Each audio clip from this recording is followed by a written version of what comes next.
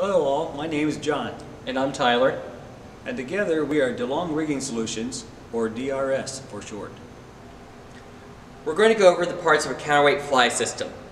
It is the most common type of system in the modern proscenium theater. Uh, today we're going to look at a single purchase system.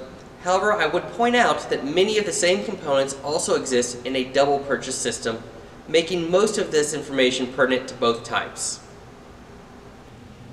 We're going to start at the batten side and work our way back to the fly rail. Uh, the batten or pipe uh, is what you attach your loads to. Typically in theater, uh, your loads are going to be things like scenery, drapes, lights, audio, that kind of stuff. Uh, in this particular theater, there are actually three different types of pipes or battens being used. The reason for this is because of the span between the lift lines. Uh, the distance between the lift lines in this particular theater is greater than ideal, which means that schedule 40 inch and a half pipe, which is the industry standard, is not acceptable in this situation. Most situations it is, but this one, just due to the deflection, it does not meet code. The solutions they've come up with in this theater are using ladder truss. Um, ladder truss is a wonderful solution as far as taking care of the deflection issues, but it does have some idiosyncrasies that can make it a little difficult to work with. The other solution in this theater is 2-inch Schedule 40 pipe. Uh, the problem with 2-inch Schedule 40 pipe is that it's actually, its diameter is so large that not all moving light clamps will fit on it. Uh, so moving light clamps tend to have to go to the ladder truss in this theater or to the old pipes if there's not another option. So now we've talked about the batten. The next thing we need to talk about is your trim chain. Uh, the trim chain is going to be the chain that is wrapped around the batten and connects to the lift line via shackles. Um, shackles are a larger conversation, but just know that you should be able to identify the working load limit and manufacturer of your shackles by looking at them. But the trim chain is what I want to talk about real quick for you. Um, selection of the type of chain is very important. Uh, there's a lot of stuff in the ANSI code, uh, E1.4-1, as well as I believe there's some ASTM codes that specify what type of chain you should be using. So it's really important to know that if you need to replace a trim chain, don't just go down to the hardware store, dig through the code, find out what it is you need, and get the appropriate stuff. Moving on, however, so you've got your trim chain that attaches the batten, which then shackles to the lift line. And the lift line goes upstairs, which will be our next stop. So let's head upstairs. So following the load line up to the grid, the load line is going to go through a loft block.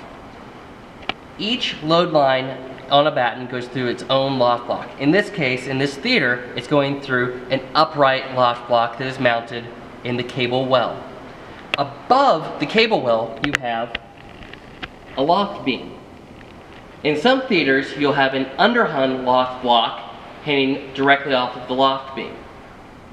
However, like I said, in this theater, is an upright loft block in the cable well.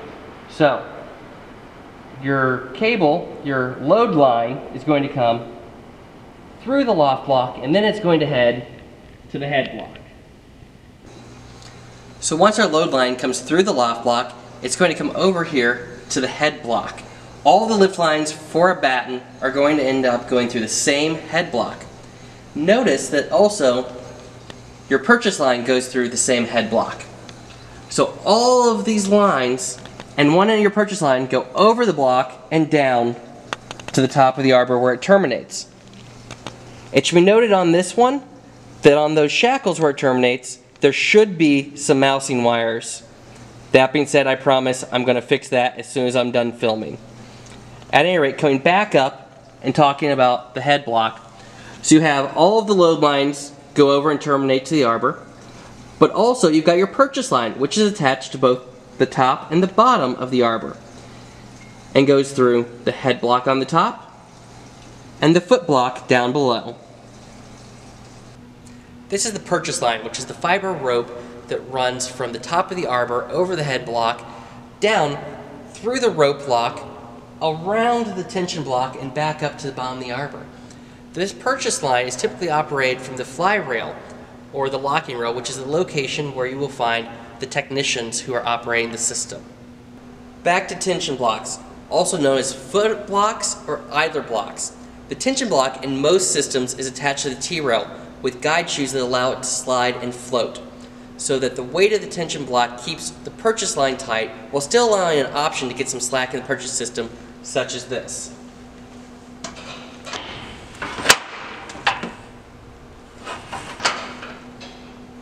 A little more about T-rails.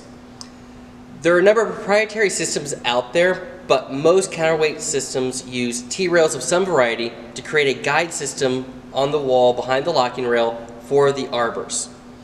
It keeps the arbors from hitting each other as well as holding the tension block in place. There are a few other terms we should talk about. The first one is crash rails. There are two crash rails in the system. A crash rail is a metal bar usually made of angle iron, often with a piece of hardwood attached to it. There's going to be one crash rail at the bottom to stop the travel at the bottom for the arbor, and one at the top to stop the travel at the top for the arbor.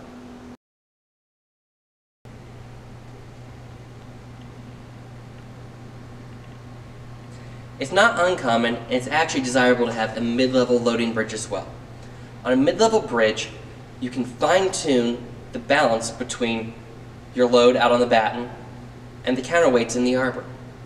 Also, mid-level bridges are often places where you will find pin rails, which will go about or go over pin rails in more depth in another video. Another nice thing about mid-level bridges is they allow options such as incremental loading when you're building a taller piece of scenery.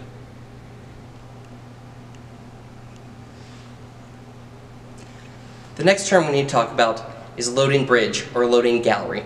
The loading bridge is a catwalk above the fly rail where you load counterweight into the counterweight arbor. The counterweight are called bricks. They vary in size depending on the system. In this particular system, they are 20 pound bricks. So if you take a brick and you put it into the arbor, which is something that I'm going to cover in another video, you have added weight to your counterweight. One thing to note is that you have a red brick down there. In some systems they're yellow, but there is always a brick that indicates pipe weight. This tells the weight loaders not to strip past that point in order to keep the system in balance when it's empty. Alright folks, I think that covers the major components of a counterweight fly system. Please remember that DeLong Rigging Solutions one-shot train videos are meant as a general overview. Every system is different, every venue has different procedures. All statements made make certain assumptions about systems and venue similarities. Nothing can replace on-site training with a qualified individual. If you ever have a question or concern about rigging or rigging safety, do not hesitate to reach out to us or another qualified vendor in your area.